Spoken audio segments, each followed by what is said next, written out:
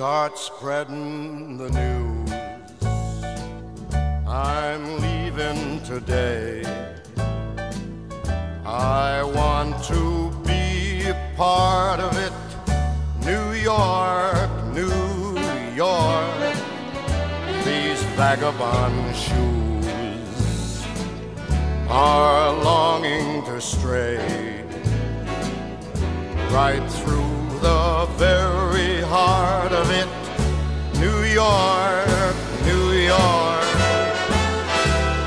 I want to wake up. So few businesses survive past the second generation.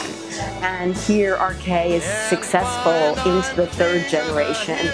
to see a business that started 95 years ago, that 95 years later, it is still in the same family, a focus on both the people aspect and the team that has been built, developed, and has grown together.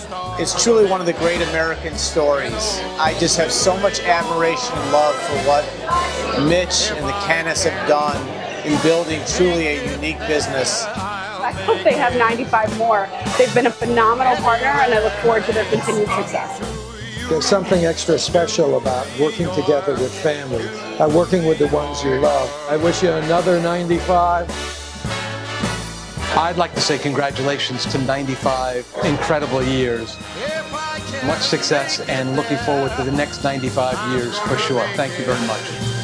anywhere. It's up to you, New